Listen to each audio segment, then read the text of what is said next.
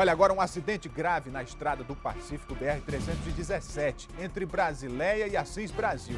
Na madrugada de domingo, duas pessoas ficaram feridas numa colisão entre motocicletas. Repórter Almir Andrade.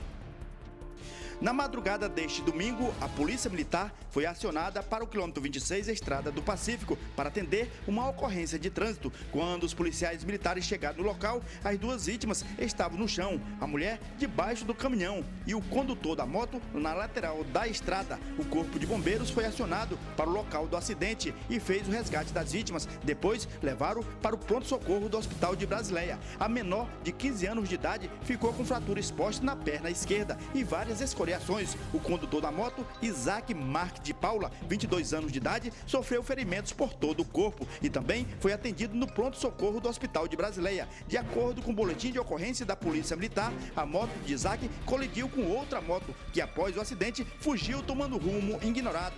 Os motoqueiros vinham de uma festa no quilômetro 32, estrada do Pacífico. Adolescente de 15 anos de idade que teve fratura exposta na perna esquerda foi encaminhada pelo médico de plantão para o hospital de Rio Branco, do Hospital de Clínica Raimundo Chá, Almeida Andrade, para o Gazeta Alerta.